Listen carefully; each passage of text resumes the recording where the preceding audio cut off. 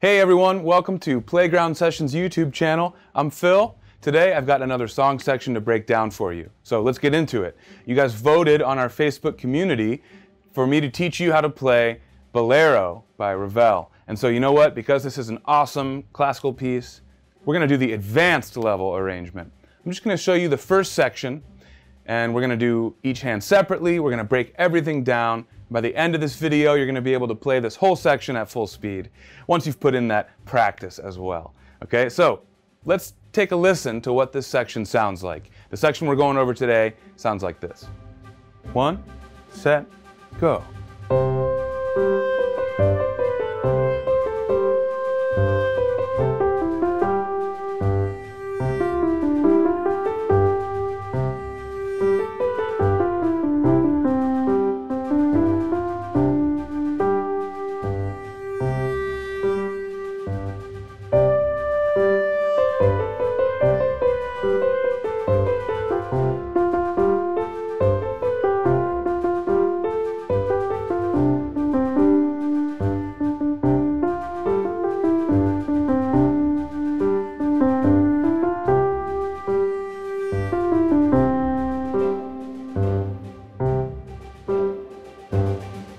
Okay, there we have it. Let's not waste any time, guys. Let's dive in. We're going to start with the right hand first. Here we go. First off, our key signature is zero sharps, zero flats. That tells us we're in the key of C. And our very first note is a C. Our very last note in this section is a C. Okay, so we can see we're clearly in the key of C. Our time signature is 3 4. The 4 on the bottom means that the quarter note gets one beat, and the three on the top tells us that we have three beats per measure. We can fit three quarter notes in one measure, or a half note in a quarter note in one measure, or any combination of eighth notes, sixteenth notes, whatever, that add up to three full beats in each measure. All right, so our first note is a C. We're going to do it with our third finger. And I'm going to move kind of quickly through this since this is the advanced level arrangement. All right, C, tied over, B, C, D, C, B, A, C. Okay, there's our first measure. Into the second measure, we have C, C, A, C tied over. B, C, next measure. A, third finger over to G, thumb on E. And then we're going to walk up to F and back to G. We're going to tie over to the next measure and walk down through this 16th note passage. Our second finger is going to do a lot of work here. We're going to go down two finger on F, one on E, two over to D, but keep your thumb where it is, because our thumb's going to go right back up and play that E again. Two is going to come back over to F, and we're going to walk back up, finally landing on G. Next line down, tied over, A, B, A, G, F, E. Second finger over to D. Now we're in a C position. In our next measure, we're going to play E, D, C. Rest. C, D, E, F, D, G. We're going to tie this G over. And this is kind of the end of our first phrase, if you will. Now, the next half of this section, uh, or I should say the next phrase, so we're going to jump up and start again up here, not on a C, but this time on a D. Tie it over. C, B, A, B, C, D, C, B. Tied. C, B, A, C, B, A, F, tied over. There's a lot of stepwise motion and scale motion, right, through this section, but a couple of jumps as well, like that. And those jumps can sound kind of stark when, we're, when we've just played a lot of stepwise motion. Next measure. Then two finger goes to F. thumb down to D, and then two on D. See how we're using each one of those little mini phrases to bring our hand position down little by little? Okay, now moving on, thumb on D. Next measure.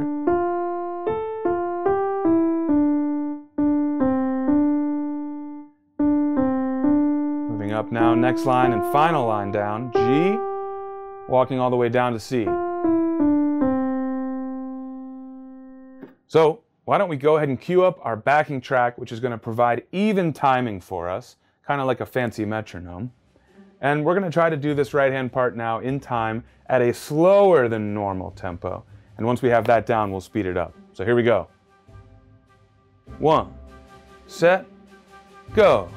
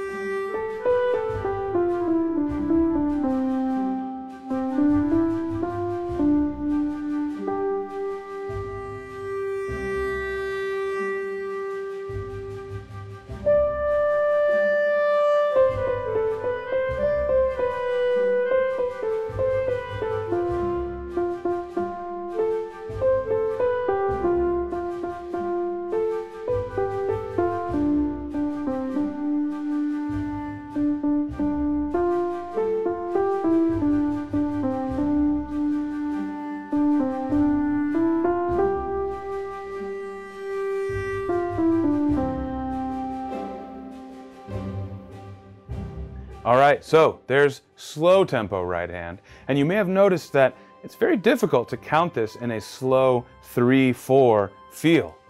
I think that's because there's a lot of 16th notes that are tied over. But I think it's also because the melodic material we have here is not really outlining beat one of each measure very well. And I think that's obviously intentional and it creates a really cool effect. But because of that, it is a little more difficult to feel it in three. So it's extra important that you count each note's duration accurately. All right? So please take your time with that, but when you're ready, let's speed it up to full tempo. One, set, go.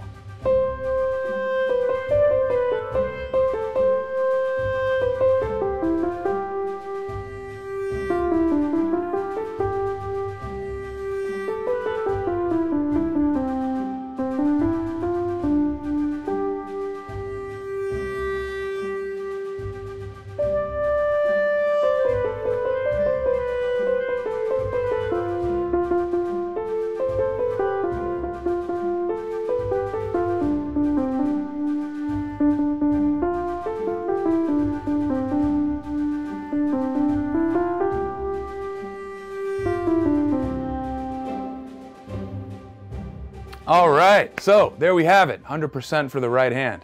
Let's go ahead and switch gears, talk about this left hand part. I promise you, it's gonna be so much easier than the right hand part. So it'll be short and sweet. Let's dig into it now.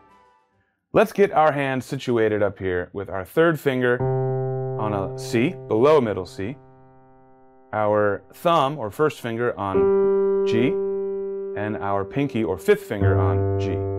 And let's just play that a few times. C, G, low G, C, G, G, C, G, G. Guys, that's the whole pattern for the left hand for this. It's very easy to play on its own and it just repeats throughout this whole section. The difficulty, however, comes in when we put these hands together, keeping that left hand part very even and unchanged while the right hand is doing its thing on top. Okay, so why don't we try to play this left hand part at full speed, then we'll get into putting the hands together. One, set, go.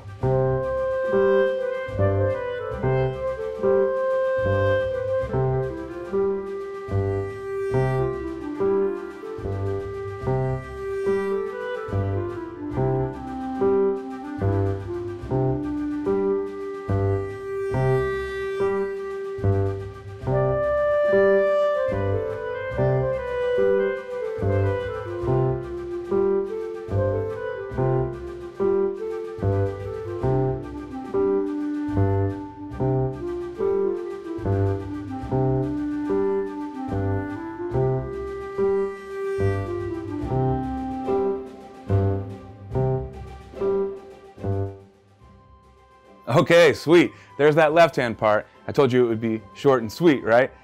Now, again, the tricky part comes when we put the hands together. So that's what we're about to dive into now. But first, let me quickly tell you that Playground Sessions interactive app can be yours for free for 30 days if you're a YouTube subscriber. Step one, if you want to try our interactive app and a 30 day free trial, Step one is you got to hit the subscribe button here on YouTube below. Okay, but step two then is to tap this card above. It works on your phone or computer or whatever. Click it, tap it, and it's going to give you some info about how you can sign up for that free trial. You can finish this song in the app. You can try it at different difficulty levels if this one's too tough for you. And there's a whole bunch more in the app as well. So please take advantage of that free trial. But for now, let's put these hands together. One, two, go.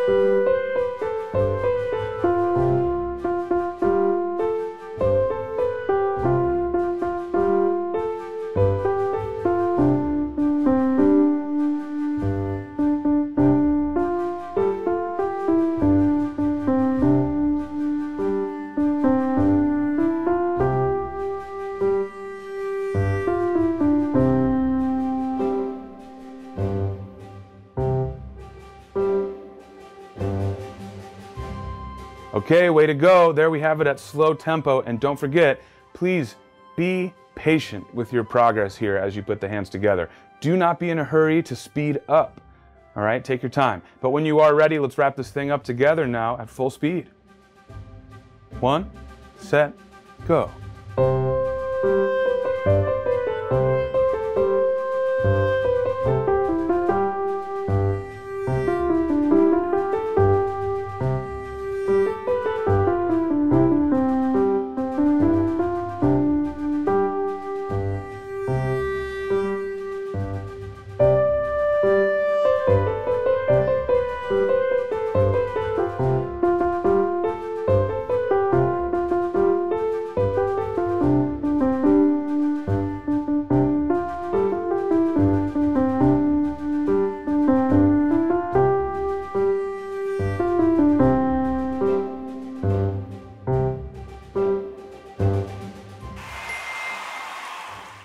Right, we did it. That felt really good.